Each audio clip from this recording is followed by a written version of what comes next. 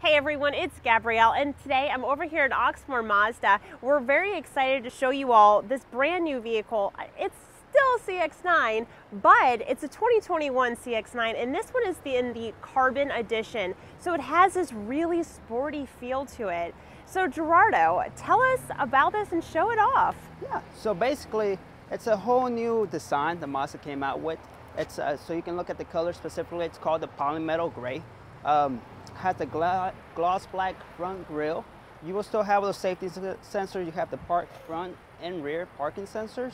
Uh, to match the rims, they did uh, to the side mirrors and the black on the rims itself to kind of match it all completely. Uh, another big thing that they did is the whole new redesign of the screen and the interior. You have the red leather seats.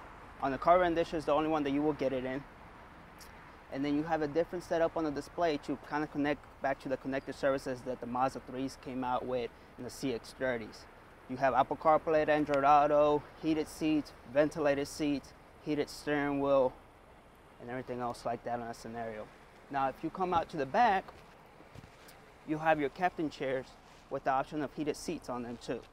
And you obviously you can control your own temperature being that it's a bigger SUV and this one specifically.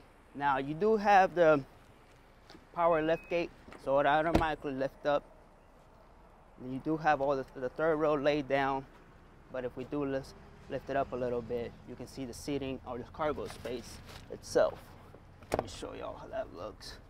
You can kind of see the differences between having the seat up or down. But other than that, push your button we'll close it, and then you'll be able to see how that works. And now back to the rear parking sensors options that you have. Very nice. Well, thank you so much for going over those features.